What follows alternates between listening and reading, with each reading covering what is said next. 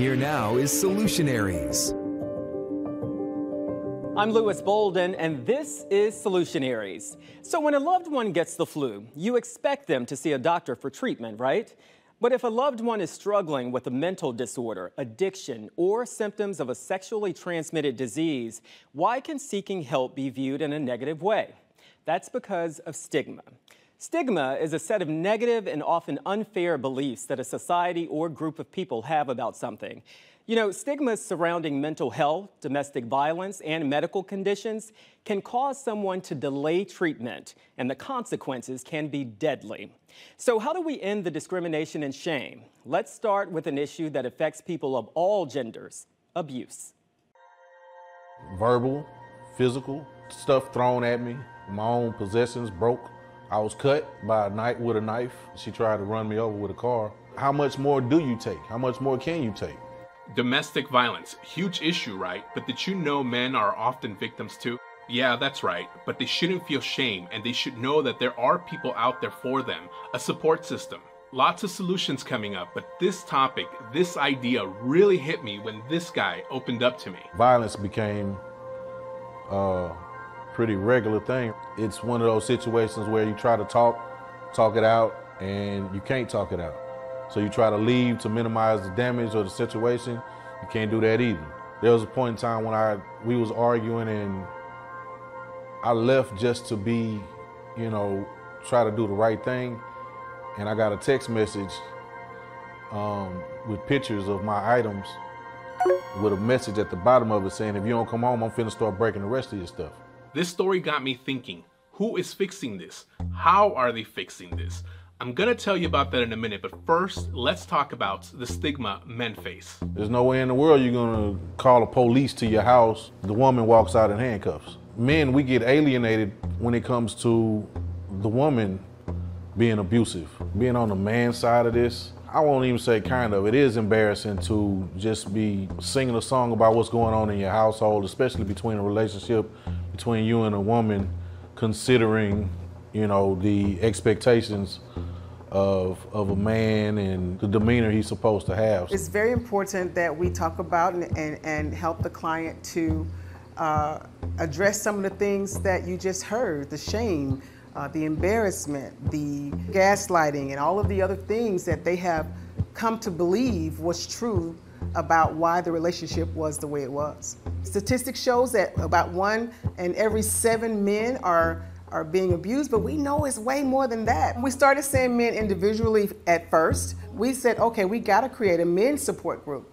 And so we did, and it just uh, was very, very obvious that it was needed. They were able to come in and actually talk to other guys that knew exactly what they were going through. The Bridge Over Troubled Waters has existed for over 45 years. Um, we're here in the Pasadena area, but we serve all of Harris County and even those outside of the Houston area who are coming to seek refuge from violence of any sort. Violence against men is not really talked about, especially when you're talking about it in an intimate setting. And so to receive services with the Bridge, it's no different than a woman calling for services. We realized that there was a need for men needing to have shelter. A lot of the shelters that focus on men here in the Houston area are homeless only. And while domestic violence is one of the main reasons that people experience homelessness, um, there needs to be places for men who are homeless, but can also focus on that healing aspect of the trauma that they've been through with family violence. The men who have come here over the last few years and ex- experienced our support, we have had to navigate things a little bit differently. Um, it's really hard sometimes to get their stories out of them originally because there is that shame associated with it. It's embarrassment. Um, there's that idea that they're not going to be be believed by law enforcement, by their families, especially if they're a bigger man. They're gonna people are gonna ask questions and make assumptions and say, "How is she, he, she, or he hitting you? Like, how are you dealing with that? You're supposed to be a man." Um, but what we really try to navigate with them is that violence can happen to anyone, all genders, all races. Um, it doesn't matter what you look like or how large or small you are. Once we kind of help them welcome them in our doors and help them see that it's not their fault, that they're not to be blamed, they're usually more receptive to the services. And again, we just kind of take them through our program like anyone else. The shelter is a great solution for men who need it. This is not a perfect fix for the issue.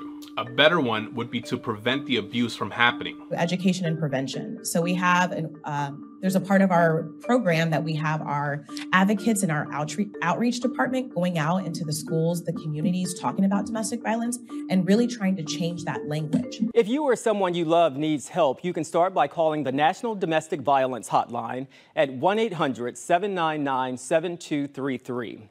Another big stigma we're taking on today is STDs. They can leave a lot of people feeling ashamed. That's why solutionaries are working to make conversations more comfortable while slowing the spread.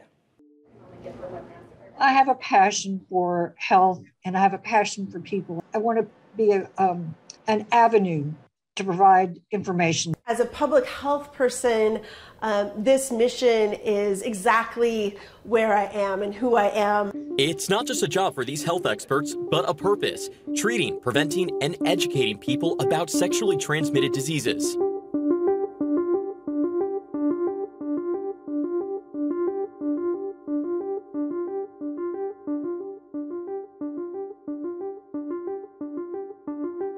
New preliminary numbers from the CDC show an alarming spike around the country. As someone who's so passionate, this is near and dear to your heart. What is your reaction when you hear that? It's frustration because we can prevent and we can treat and we can manage. And treatment is prevention because if you're not treated, then you're continuing to spread it and giving it to somebody else. There's still a lot of stigma. There's a lot of fear about coming for testing. People don't like to come in and tell you about what's going on in their, their personal lives most people know that safe is a safe place to come and that you can come here and talk honestly and get good good information and support.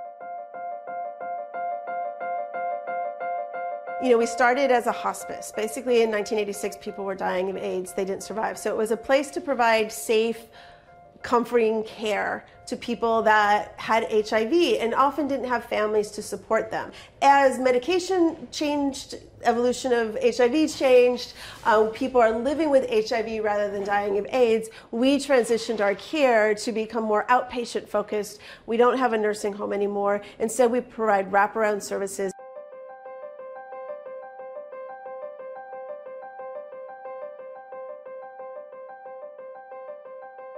Every opportunity that we can to talk about it and normalize it makes a difference. So we're doing focus groups with parents, with uh, care providers to really just normalize the conversation so people know that they should come to us. We're trying to reach out into different community groups, um, but it's, it's hard because people are still afraid to talk about it.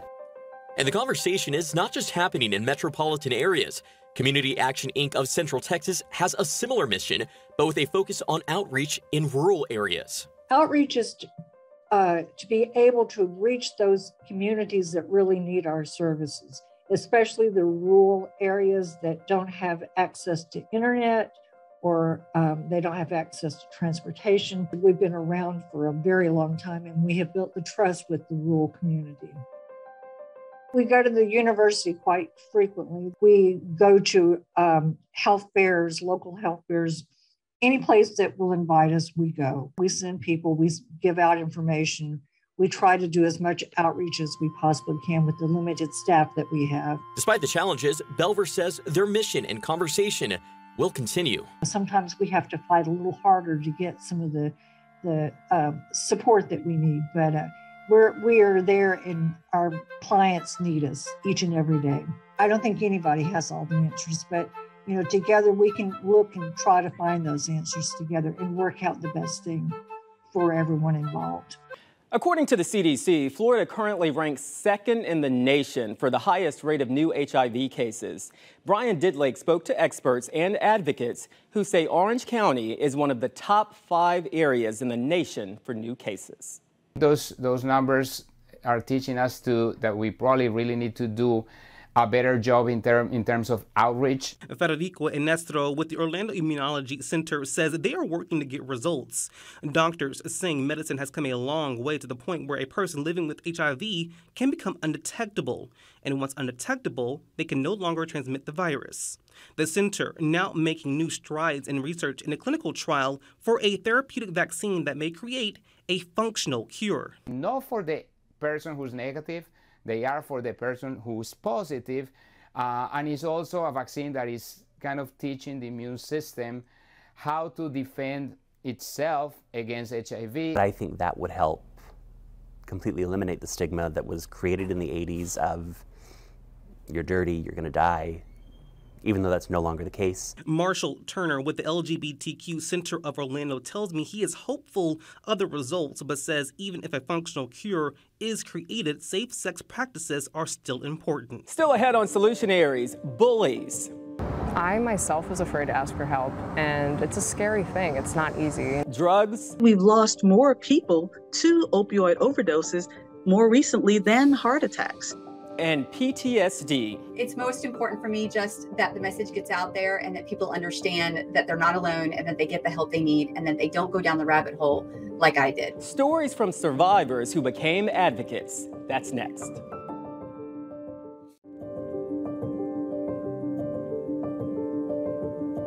Welcome back to Solutionaries, a show that looks at big issues and spotlights people who are working to solve problems. I'm Louis Bolden. Today's issue is stigmas. We've come a long way in treating mental disorders like schizophrenia, but despite these advances, stigma continues to be a reality. Like in movies, where mental illness is often depicted with violent or dangerous people. You know, for parents of kids suffering from hallucinations, finding the right kind of care can be extremely difficult. Erik von Ancken found a healthcare system offering a solution. Then we have a waiting room here. It's usually for our adolescents. This is the first place and the only place in Volusia and Flagler counties. Sometimes the family sits here. Where children as young as 15 can come and get complete, coordinated, all encompassing care the first time they have an episode of psychosis. Be hearing voices, you know, uh, delusional thoughts. Jason Thompson, the director, calls this navigate. A patient gets their, their meds, goes off, and there's nothing else, as opposed to navigate, which is a lot longer, more intensive, and they get coordinated care. These buildings here at SMA Healthcare in Daytona Beach each house the different components of care. Family counseling, this is Christine. Individual counselors. We have our case manager here. Employment or education counselors if the client wants to work or go back to school and even an on site pharmacy if medication is prescribed. Some parents have gone all over the county to find services specifically like this. A lot of times, you know, it's the parents, you know, that, that acknowledge it and say there's a problem and, and try to seek resources, help their child, you know, not commit suicide probably or do harm to themselves or others, because that's what the reality is. You know, if this is untreated, you know, these psychotic breaks, you know, could lead to those things. To suicide. Yeah. Thompson says 21 of the 30 spots he has are already filled, and Navigate only opened eight months ago. The extreme problem with kids, with, with you know high schoolers, uh, with even middle school, you, you have uh, colleges and universities, especially after the pandemic, and even even after these storms people are having psychotic breaks. Schools, clinics, and hospitals are referring clients, but anyone can just walk in. Navigate is entirely voluntary. Clients must decide if they want to be here, and if they do, they must show up at least once a week for at least a year. So, how does Navigate measure success? Well, the first person to have enrolled in this program, now almost a year ago, we're told is about to graduate and is doing great. And the 21 folks who right now are enrolled in this program and who have committed to coming here and getting better and getting help, none of them have dropped out. And they say that is a good start. For many kids, social issues like bullying also come with a stigma. Speaking up and asking for help can be scary, something 24-year-old Michaela Nichols knows very well. Now she's dedicating her life to inspiring others who are struggling. I found myself in a very dark place where I didn't want to be on this earth anymore, and I had one of two choices. And ultimately, I chose to use my story to help other people. One life lost to suicide is far too many. I've worked with a lot of parents who have unfortunately lost their child to suicide at such an early age, and it breaks my heart. And I think that their story is so important because every life is important. 24 year old Michaela Nichols is the founder of the Blatantly Honest Foundation. The foundation's purpose is really to remind people that they're not alone and provide those resources to, to really let people know that their story matters and just speak up and just acknowledge, you know, the things that you've been through. Those resources include coloring books for elementary age students and her best-selling 2016 book, Blatantly Honest, Normal Teen, Abnormal Life. In it, Nichols talks about enduring years of bullying and mental health struggles. And you know, those feelings don't go away. I mean, sometimes it's it's still in me, but I choose, you know, the sun will come out tomorrow. I choose to, to think of my semicolon. That's a constant reminder for myself because I still struggle with mental health. I mean, I think we all do. Nichols visits schools, sharing her struggles with students, letting them know it's okay to ask for help. I myself was afraid to ask for help, and it's a scary thing. It's not easy. You know, I can sit here and be like, hey, like, own yourself, love yourself, but that's, that's not always easy. It's mm-hmm. really find someone that you trust mm-hmm. and then talk to them. And, you know, if you're too scared to ask for help, maybe they can get you the help that you need. Let's talk now about addiction. With the nationwide overdose crisis near record levels, the government is announcing a solution many think will reduce the stigma around addiction. The FDA says it's addressing a dire public health need by making Narcan available over the counter. It's been long overdue. Substance abuse expert Tanya Sorrell says the move will save lives. We've lost more people to opioid overdoses more recently than heart attacks. So having every home with access to Narcan is a method that everyone can have access to this life-saving medication. 66% of overdose deaths in 2021 were from synthetic opioids like fentanyl, according to the latest data available from the CDC. Narcan blocks the effects of opioids on the brain by preventing them from attaching to nerve receptors. Over 90% effective, it should restore breathing within two to three minutes. Health officials say if an overdose is suspected, first call 911 then administer one dose of naloxone. It literally just goes in the nose and you just squirt it. Residents in Arlington, Virginia recently learned how to use it. Let's say that you've given them a dose and you, you don't see any response. You can, after two minutes, you can give them another dose. Naloxone is not harmful if used on someone who is not overdosing. Getting this drug in the hands of first responders can make all the difference. Just take a look at this video. It's body camera video from UCF police. It shows officers deploying Narcan to a young man overdosing on campus. UCF PD has been carrying Narcan since 2015. And just last year, the school started offering the drug for free. And now to a serious issue impacting the lives of millions of men and women in uniform. Investigator Mike Holfeld spoke to a veteran about her push to break the stigma of PTSD. For 17 years, I was strong as can be, and then all of a sudden, I wasn't. She's a hero on the mend, a retired Orange County Sheriff's deputy diagnosed and living with PTSD. For some reason, that particular one was the one that just sent me home and it just broke me. For retired Navy vet and Sheriff's Deputy D.A. Michaels, the breaking point was the drowning of a two year old boy in 2017. The trigger that fractured her world and nearly brought her to the abyss. I became dangerously close to becoming a 22 statistic. A 22 statistic. That refers to a study by the Department of Veterans Affairs that found 22 veterans lose their battle to post traumatic stress on American soil every day. Michaels tells me first responders face that same personal challenge. It is a huge problem in our community and it needs to be talked about a lot more. Case in point, Hoop Adams, a Navy veteran now living in the panhandle. The stigma that is attached to PTSD is what's worse. Adams served his country between 1980 and 2000. To this day, he's still haunted by a shipmate's death, his PTSD. Adams told me his family, his dog, and love of life help him avoid what he calls the dark. PTSD, it comes in and shuts all the light out of your life. That darkness is what inspired D.A. Michaels to self publish Courageously Broken, a very candid diary of her struggles with PTSD, and a reminder that you don't have to give up. Don't hide. Don't be ashamed. I'm begging you, please, because at the end of the road that you're going down, it's not good. It's death. A white paper study by the Ruderman Family Foundation found law enforcement officers and firefighters are more likely to die by suicide than in the line of duty.